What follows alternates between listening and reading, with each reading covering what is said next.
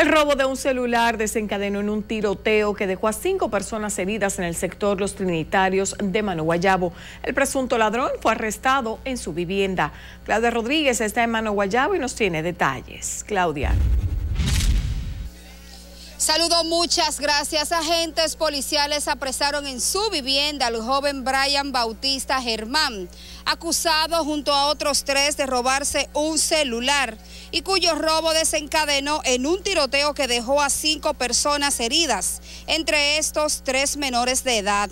Versiones dan cuenta de que una multitud siguió hasta el sector Los Trinitarios a los presuntos ladrones y que cuando Brian penetró a su vivienda, su padre, identificado como Tomás Bautista Peña, supuestamente salió e hizo varios disparos.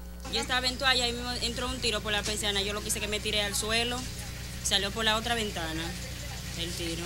¿Y cómo se sintieron ustedes con, todo eso? Todavía yo no, todavía yo no tengo fuerza. La casa aquí del colmado de Cucha, hay dos tiros eh, que pasaron a la calle, uno en la pared y otro traspasó la persiana. Se agregó a la multitud, se repartieron un tiroteo.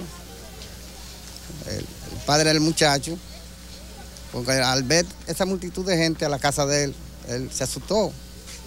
Como la gente pensaba que se le iban a quemar o algo él. Y él se asustó y empezó a tirar hacia la multitud. ¿Y dónde recibió las heridas su hijo? En un pie, en un tobillo. Tomás no estaba, Tomás no estaba. Tomás no pudo ver, no pudo llegar, llegó ya cuando todo pasó. Y cuando salieron otras, que yo llamé a varias gente, se armó un tiroteo porque ellos le tiraron. Yo no sé de dónde salieron esos tiros. Los heridos se encuentran en diferentes centros de salud, mientras que las autoridades informaron de que Brian había estado preso anteriormente en el penal de la Victoria. Es todo lo que tengo desde el sector Los Trinitarios en Mano Guayabo. Ahora paso contigo al centro de noticias.